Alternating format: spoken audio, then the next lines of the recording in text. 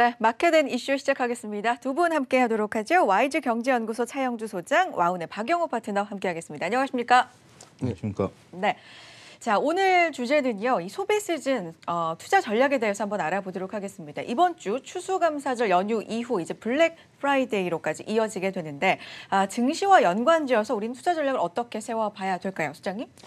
예, 일단은 뭐 매년 벌어지는 이제 행사죠. 블랙 프라이데이 같은 경우 이제 어, 연말이 되면 이제 미국에서 벌어지는 대규모 이제 소비 어, 행사가 되는 것입니다. 네. 어, 얼마 전에 있었던 중국에 있어서의 광군제도 어, 대규모 이제 소비 행사가 이제 이루어진 건데요. 이런 것들을 이제 국내 증시와 연관져서 생각해 보는 부분들이 필요한 시점이 된 것이 아닌가 좀 말씀드릴 수 있겠습니다.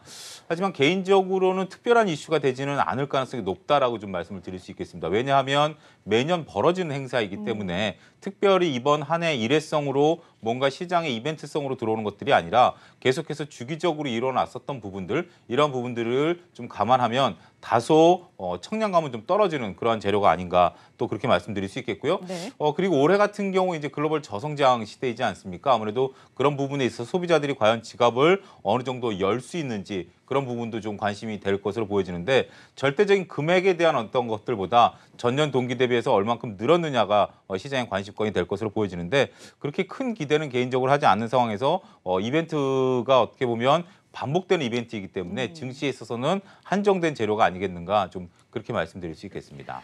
뭐 특별한 이벤트라기보다 매년 익숙하게 반복되고 있는 이벤트이고 저성장 쪽에 좀 주목을 하다 보면 이게 큰 원동력은 될 수 없을 것이다라는 의견이신데 대표님 어떻게 보십니까? 저는 조금 달라요. 아 그래요? 네. 이제 다른 이유는 다른 게 아니고 음, 미국이 트럼프가 집권하고 나서 2017년과 2018년을 보면은요, 2017년보다는 2018년이 어, 경제가 굉장히 많이 좋아졌어요. 어, 그러기 때문에 금리도 이제 많이 인상을 했고요. 네. 자 이번에 그 최, 지난 10월에 미국의 그 소비자 지출을 살펴보면은 전년 대비 약 3에서 5% 정도 증가했거든요. 이 얘기는 미국 소비자들이 지갑을 좀 열고 있다는 것과 소득이 좀 늘었다는 것을 감안을 해보면 이번 프라이데이는 아마 광군제보다는 조금 영향력이 떨어지겠지만은 미국 자체로 봐서는 전년 대비 그 상당히 아, 매출이 증가할 것으로 많이 기대를 하고 있습니다.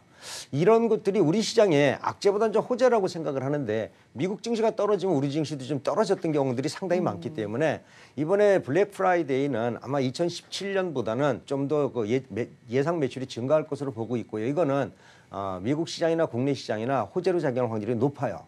반대로 예상보다 떨어진다면은 그때는 좀 충격파가 있겠지만은 네. 지금 모든 기대치나 아, 소비자 물가나 그 다음에 그 소, 소비자들 수입 지출과 그다음에 임금 수준이나 이런 걸 보면은 2017년 대비 다 좋아졌기 때문에 아마 이, 이번에 블랙 프라이데이에서는 전년 대비 약 10에서 20% 잘하면 30% 정도까지도 매출이 늘 수 있다라는 분석들이 많이 나오고 있는 걸 보면은 나쁘지 않을 거다라고 보고 있고요. 그래서 올해 이 블랙 프라이데이가 과연 어, 어떻게 되느냐에 따라서 올해 연말 증시도 어, 변동이 좀 심할 거다라고 보시는 게 좋을 것 같습니다. 악재보다는 호재 가능성 쪽에 좀 더 무게를 실어 주셨습니다.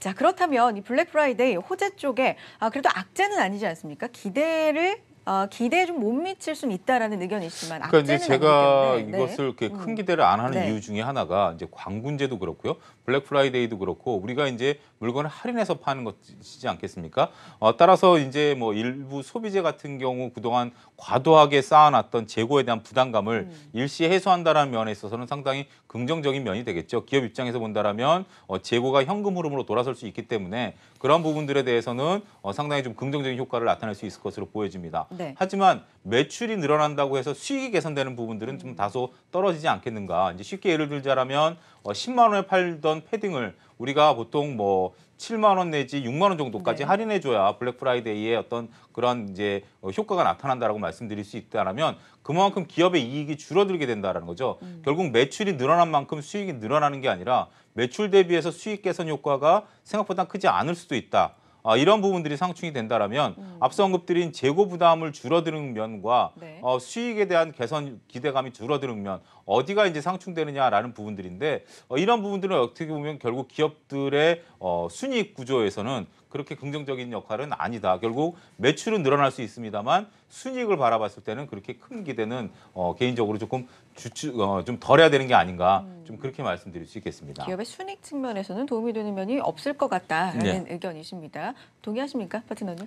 아, 일부는 동의하지만은요. 우리 주식 시장을 볼 때는 조금 좀 다르게 봐줘야 될 것 같다는 생각이 드는 게 어, 주식 시장은 여러분들이 다 아시지만 이제 그 미래같이 꿈을 먹고 사는 건데 예전에도 블랙 프라이데이 매출이 좋고 그다음에 연말에 백화점 매출이 좋아, 좋았으면은 어, 기업들의 실적 호전 때문에 주가가 좀 올라갔습니다. 지금 얘기하신 대로 어, 매출이 늘어도 재고를 정리한다거나 아니면 판매 반전이 줄어든다면은 그거는 그 기업들의 실적에 부담이 될 수 있겠지만은 그런 것들은 매년 연례 행사를 해왔던 건데 이번에 매출이 증가한다는 얘기는 그만큼 기대치가 조금 높아질 수 있다는 거거든요. 그러니까 지금 얘기하신 대로 그러한 것들이 기업 실적에 부담이 돼서 악재가 작용할 수 있겠지만은 저는 매출이 증가할 것으로 보고 증가할 것으로 분석하는 것들이 많고요. 미국의 소비자나 아, 이번에 그 소- 신뢰지수나 이런 것들을 보면은 소비가 늘어나고 있는 것들은 경제 지표에서 다들 나오고 있기 때문에 아마 그런 기대치가 정말로 실현될까 실현되지 않을까가 이번에 그 어떤 그 바로미터다라고 네. 지금 생각을 하고 있어요. 그래서 이번에 블랙 프라이데이 매출이 아, 늘어난다면은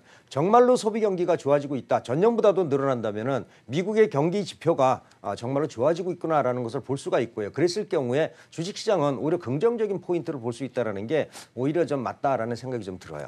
그런가 하면 11월 말에 굵직한 이벤트들이 또 집중이 되어 있습니다. 이제 글로벌 이벤트 구간에 좀 돌입을 해 있다라고 해도 과언이 아닌데 뭐 G20에서 미국과 중국의 정상회담도 어, 이제 좀 주목을 해봐야 되겠고 우리나라 금통위도 열리고요. 그리고 브렉시트 이슈도 계속해서 나오고 있는 상황인데 좀 변수들을 짚어볼까요? 어떻습니까?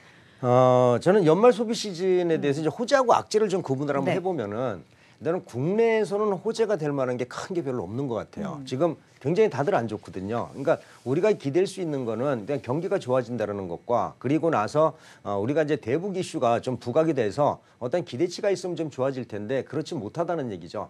지금 보면 경기 지표들이 계속 좀 하락하고 있고 이번에 매출이 늘지 않는 상황, 기업들의 실적이 줄어드는 상황이기 때문에 이번에 연말에 대한 기대치는 아, 조금 좀 어렵다라고 보고요. 최근 들어서 그 원화가 또 약세가 되는 부분에 대해서는 어, 수입 물가에 대해서 그, 그 인상이 될 수 있는 그러한 요인들이 있기 때문에 조금 어렵다라고 봅니다. 근데 한 가지 이제 그 해외도 역시 마찬가지겠죠. 해외도 마찬가지인데 뭐 달러 강세 때문에 아, 다른 이모진 국가나 이런 거 다 마찬가지인데 지금 얘기하신 대로 가장 중요한 거는 저는 봐서 이번에 미국하고 중국하고 무역 분쟁을 어떻게 해결하느냐가 가장 네. 키포인트 같아요. 이게 만약에 올해 그 뭐 이번에 다음에 그저 저 며칠 안에 그 이루어진다면은 그 기대치에 그동안에 많이 하락했던 원자재 가격이나 이런 것들에 다시 반등을 해주면서 시장은 급격한 상승을 보일 수도 있겠어요. 근데 그렇지 않다면 역시 어, 미국하고 중국하고 무역 분쟁이 어, 좀더 그 심화가 된다든지 이랬을 경우에는 연말 기대치가 좀 더 확실히 어, 낮아질 수 있다는 것도 어, 우리가 점검을 좀 해봐야 될 것 같아요. 일단 미중 무역 분쟁이라는 굵직한 이슈가 좀 완화되는 분위기로 가면서 시장 분위기가 좋으면 어, 이런 블랙 프라이데이나 연말 소비 시즌도 어, 호재로 또 작용할 수도 있지만 묻힐 수 있는 가능성이 굉장히 큰 것 같습니다. 어떻게 보세요? 그렇습니다. 일단 뭐 지금 시장에서의 가장 큰 관심권은 미중 간의 무역 전쟁이다라는 부분들이죠. 어, 미국 증시 같은 경우도 지난 목요일, 금요일 날 어, 일시적인 반등세를 나타냈던 게 무역 전쟁에 대한 완화 기대감. 어, 또 당국자 간의 어떤 통화에 대한 이런 얘기가 나오면서 완화 기대감으로 소폭 상승하는 그런 모습들을 보여줬는데 현재 미국이나 우리나라 같은 경우도 시장을 짓누르는 가장 큰 악재는 미중 간의 무역 전쟁이다라는 점에 대해서는 뭐 부인할 수 없는 그런 사실인 것 같습니다. 어, 현재 지금 가장 큰 이벤트로서 볼 수 있는 것은 G20 정상회담이죠. 네. 물론 G20 정상회담에서 단순하게 무역 전쟁에 대한 것을 일시적으로 끝낸다라고 현재 보기에는 쉽지는 않은 것 같습니다. 아직까지 흘러나오는 얘기들이 트럼프 대통령이 한 방 쏘면 참모가 좀 부인하고 네. 참모가 한 방 쏘면 트럼프 대통령이 부인하고 하면서 어떻게 보면 강원 전략을 현재 지금 어, 미국 측에서 좀 내세우고 있고 중국 측에서는 뭐 일부 품목에 대해서 관세 부과를 유예하겠다라는 등 수출 뭐 수입을 더 늘리겠다라는 등 좀 유예책을 좀 쓰고는 있습니다만 여전히 또 중국 정부 뭐 시진핑 주석 같은 경우는 굳게 입을 다물면서 그런 부분에 대해서 긍정도 부정도 안 하는 모습들을 보여주면 서로 간의 힘겨루기가 계속 이루어질 뿐 아직까지 어떤 협상을 구체적으로 하고 있다. 뭐 이런 것들이 시장에 나오고 있지는 않은 것으로 보여집니다. 따라서 주의식 정상회담이 곧 얼마 남지는 않았습니다만 어, 이런 것을 통해서 해결을 기대하기까지는 넘어야 될 산들이 아직까지는 너무 많다라는 점이고요. 어, 앞서도 박영호 파트너께서도 말씀하셨다시피 네. 이런 것들이 해결되지 않는다라면 올해 어, 증시에 있어서는 강력한 상승 모멘텀을 갖기에는 다소 좀 역부족이 아닌가 좀 그렇게 봐야 될 것 같습니다. 네. 투자자분들이 모두가 알고 계실 겁니다. 가장 큰 사실 증시의 변수가 될 수 있는 부분은 중국과 미국의 무역 갈등 아, 이로 인한 세계 증시가 어떻게 반응을 하는지. 자 그렇다면 아, 연말 소비 시즌이 좀 모멘텀이 될 수 있을 거라는 가정하에 어떤 업종에 좀 주목을 해보면 좋을까요, 소장님? 예, 일단은 뭐 소비라는 것이 그 일단은 뭐 저도 이렇게 좀 다시 정리를 하면 그 블랙 프라이데이 자체가 어떤 이벤트가 되지는 않을 것입니다. 하지만 그 현재 지금 미국의 어떤 경제 뭐 인플레이션율이라든지 이런 부분을 본다라면 소비가 다소 조금 늘어나는 것은 네. 사실이죠. 따라서 그러한 트렌드를 본다라면 그리고 거기에 덧붙여서 어 블랙 프라이데이에서 굳이 매출이 늘어날 것을 보여준다라면 광군제에서도 보여지듯이 국내 화장품 부분들 그다음에 일부 의류 섹터들 이런 쪽에 대한 부분들이 좀 필요 그 관심 있는 그러한 부분들이 아닌가 그렇게 좀 말씀드릴 수 있겠습니다. 네. 여전히 우리가 글로벌 시장에 있어서의 내세울 만한 그 쇼핑몰 어, 그런 것들이 어떤 거냐라고 봤을 때는 여전히 의류 화장품 섹터로 어, 한정해서 봐야 되지 않을까 좀 그렇게 보여지는 상황입니다. 글로벌적으로만이 아니라 우리나라 뭐 겨울 시즌, 뭐 패딩이라든지 이런 걸 봐서도 의류 쪽에 관심을 가져볼 만하다라는 말씀이죠. 아무래도 뭐 소비가 국내 경제는 조금 국내 경기는 조금 후퇴한다 하더라도 여전히 어, 계절적인 요인을 감안하게 된다라면 의류 업체에 대한 관심은 좀 필요한다라고 좀 말씀드릴 수 있겠습니다. 알겠습니다. 박영호 파트너께서는 업종 전략 어떻게 보십니까? 어, 일단 사실 겨울에 이제 강한 업종하고 그다음에 이슈의 그 강한 업종을 한번 살펴보면은 아무래도 겨울에 강한 업종은 지금 얘기하신 대로 의류 업종은 어, 왜 겨울에 강하냐면 겨울에 의류들이 주로 고가거든요. 네. 보면 다 고가들이 많고 여름에는 좀 싸고 그래서 어, 겨울에 의류 업종에 대한 기대치가 주가에 반영되는 경우들이 있죠. 이건 계절적인 요인이고요. 그다음에 중국 소비주 같은 경우는 지금 뭐 정확하게 얘기를 해주셔가지고서 이따가 제가 뭐 세부적으로 다시 한번 말씀을 드리겠지만 일단 중국 소비주들은 기대치가 좀 있어야 되겠다라는 것이 그 일정의 생각이에요. 이제 여러분들이 그 동안에 많이 올랐지만은 추가적으로 반등도 가능해 보는 거 저는 엔터 관련주로 아. 보자고 하거든요. 이번에 그 BTS가 일본의 그 방송 출연이 그 무마 저 무 저기 네. 그저 무효가 됐었잖아요. 그 잡음이 좀 많았죠. 예, 예, 연기가 네. 많았었는데 그 자체를 몰고 가던 일본이 지금 갑자기 주춤을해졌어요. 왜 주춤해졌냐면은 방탄소년단의 그 뒤에 그림을 배경으로 삼았는데 2차 대전이 연상이 되니까는 일본 정부에서 바로 꼬랑지를 다 내렸어요. 그래서 아마 일본이나 그 다음에 그 BTS 효과는 역시 K-팝에 대해서 한 단계 수준을 올렸다는 점에서 연말에 전 세계에서 K-팝에 대한 열기가 어, 좀더 강해질 거다라고 지금 보고 있거든요. 그래서 네.